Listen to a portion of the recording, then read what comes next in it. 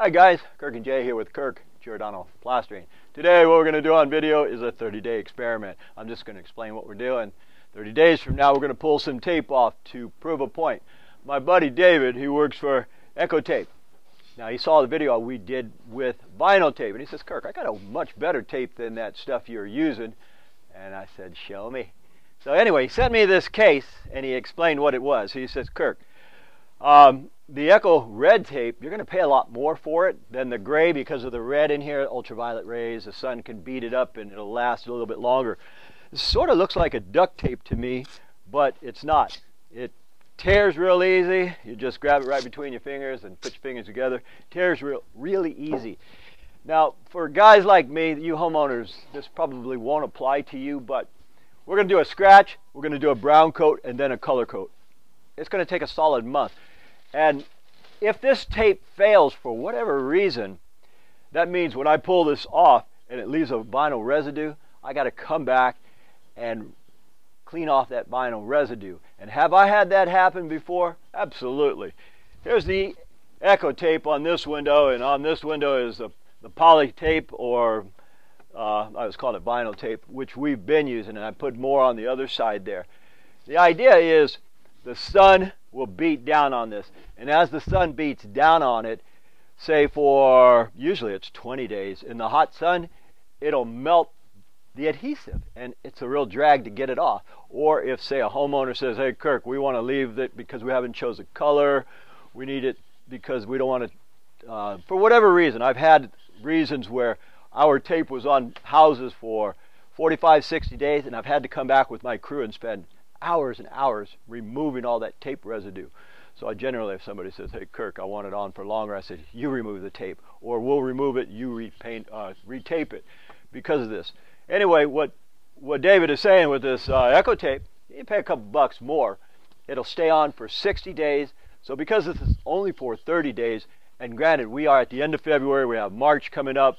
It's not that hot, but the homeowner here is going to hydrate these walls and it gets cold at night. So as he hydrates the wall, this gets wet, the cold hits it, and when we pull it off three, 30 days from now, it could still leave a residue, but I'm curious to see about this. Now this again, it kind of looks like a duct tape to me, the Echo tape, but but he says, Kirk, I guarantee it's uh, 60 day stuff, and in fact, Milgard tested it, and I thought, well, shit, if Milgard tested it, uh, that's good enough for me.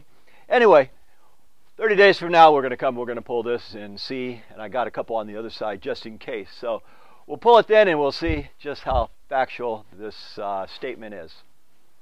All right, guys, back to the same house. Jay just spread it, I floated it. We always take the tape off as soon as we float this. While this is still wet, I'm going to prove a point, guys. Still wet. Anyway, uh, this is a float finish. They're going to paint it anyhow, so I can touch that up. All right, my buddy Dave works for uh, Echo. He says, well, well, Kirk, Milgard already tested it. And when they sell their windows, there's a little piece of paper that says they recommend Echo Y for. They've done all the tests. Let's put it that way. Now, this particular tape is a cloth tape, UV cloth tape from Echo. I have no clue if this, what's going to happen here, but it's been about six weeks, and we're in the uh, in the spring, so we'll see what happens. Anyway, um, generally what I'll do is I'll pull it from the bottom and let's see what we got. And notice I got a piece of cloth in my back pocket and I got a little handy dandy piece of um, plastic. So sometimes if it's been on a long time, I'll do that. This is caulking. Okay, that came off pretty good. Cool beans. Let's see. This usually comes off pretty good too. And this is, um, we use this poly tape or vinyl. Uh, theirs is a cloth. Let's see. Oop.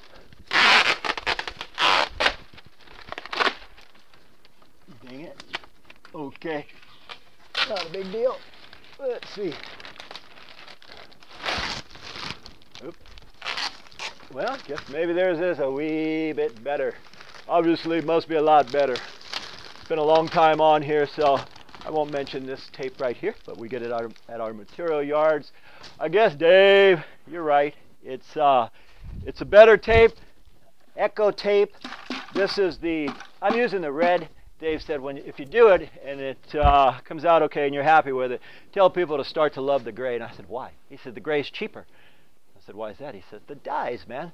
So we did the red, which uh, costs a little bit more, but the gray is a little cheaper. But now you can see why Milgard recommended them. Okay, guys, back again. I had something I wanted to explain on the uh, Echo tape but it was kind of complicated. I wasn't certain that my followers would understand, but I'm going to give it my best shot because I had a circumstance which called for my assistance.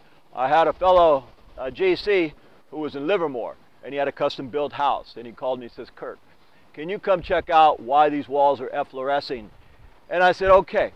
So we went out, I looked at it, I said, that's not efflorescence. What that is, is it's just typical staining. Um, he says, well, we're going to paint the whole house anyway. And I said, well, uh, go ahead. He says, I thought you can't paint efflorescence. I said, you can't paint efflorescence.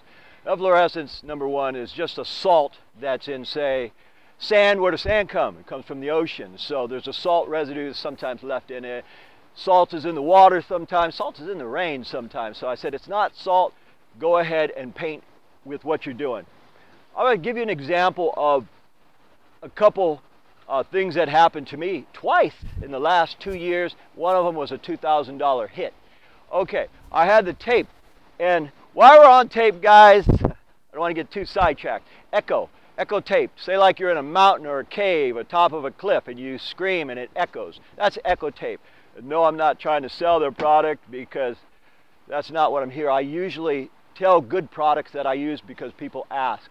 I haven't used Echo Tape before except for this one video, but now I'm going to start using it. My, my shelves are going to be stocked with only Echo Tape because, granted, I sometimes have the tape on a house for three weeks up to five weeks, not intentionally. I don't want it on that long. Getting back to the Livermore job, I went there and I said, here's what happened. They hosed down the wall and it went through the plastic that they had on the windows and the fellow says, so the tape failed? I said, no, the tape didn't fail. The tape they had was not Echo. It was a white tape. It was a poly tape like this, a vinyl tape. And if you look inside the tapes, they'll tell you what state, what country it's from. Uh, we're not going to go there as far as what tape they use because that's not what this is about. I have that same tape in my house. But what they did is they had that tape on this house. In Livermore, we get days of, uh, say, 95 degrees to 100. Now, on one side of the house, that baked the tape. So the tape they had baked, which means it ruffled. So when they hosed, the, they hydrated the walls prior to the color coat, it went through the tape and down inside the window. And if you notice when I did this tape, this video earlier, I pulled my tape on the window the same day. I even touched it to show you it's still tacky. Why? although that wasn't a dark color, I can still get blotchiness underneath. So what they did was they left the tape that night and they did a dark color. They used a lifestyle color.